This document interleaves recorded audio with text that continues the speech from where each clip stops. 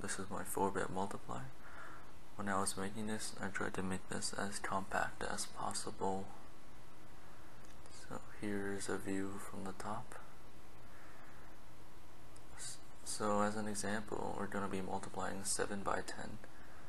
So here is entering 7 in binary, which is 0, 1, 1, 1. On the top, we are will be entering 10, which is 1010. I press this button to input the inputs. You need to delete the inputs after that. And then you press this second button to start the clock being multiplied. As you can see, the result is 70 in binary 01000110. I've also included a reset button to reset the memory.